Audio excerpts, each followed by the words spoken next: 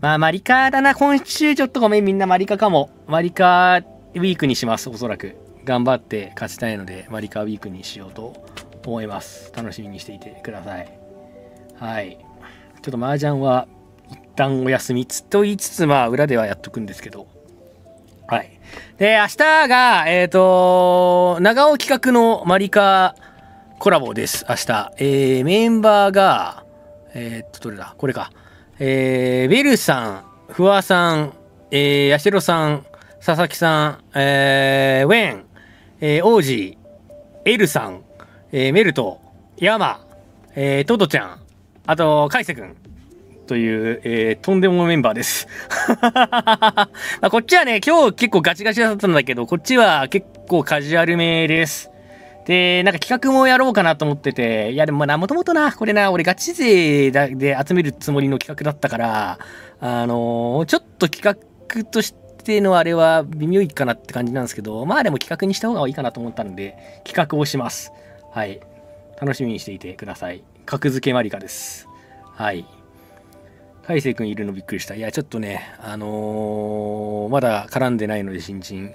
新人くん絡んでないから一人はよって思って、えー、適当にピックしました 適当にピックしました。格付けマリカは、まあ、えー、後で、後でじゃねえや、えっ、ー、と、明日説明します。タギオとは絡み合った。タラギオは、あのー、麻雀で一緒だった。それだけです。麻雀で一緒だった。その一点のみで。てか、なんか世代をね、ちょっとばらけさせたかったから、結構バラバラに誘ってみました。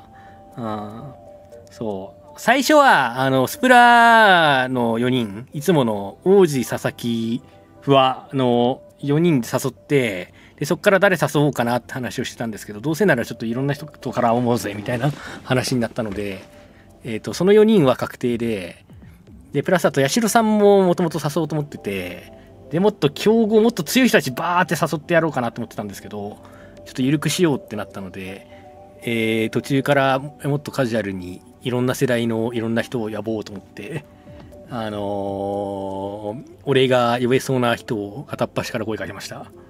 はい。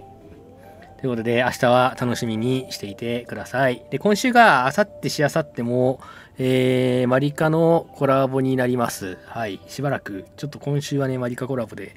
で、前日はソロもやるし、ソロでやろうかなと思って言いつつ、コラボもあるけど、ちょっとソロでできるときはソロのマリカもやろうかなと思ってるんで、はい。ちょっと、え、まあ、えー、っと、まあ、ソロマリカはちょっとゲリラみたいな感じで、まあでも前日には出そうかなと思ってるので、少々お待ちください。